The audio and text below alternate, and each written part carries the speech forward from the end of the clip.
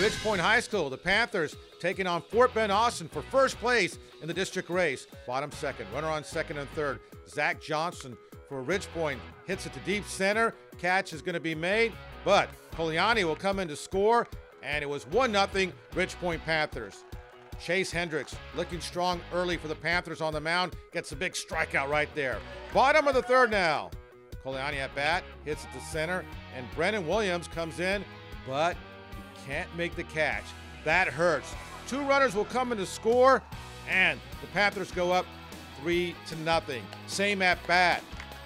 On the steal attempt, the throw from Brandon Miller gets away, and that's Coliani who races home. It's 4 0 Ridgepoint on top. Top four. Bulldogs come back. Porter Cox hits one, gets by the shortstop. Daniel Shipley will score. Here comes Josh Skokan, and it's 4 to 2.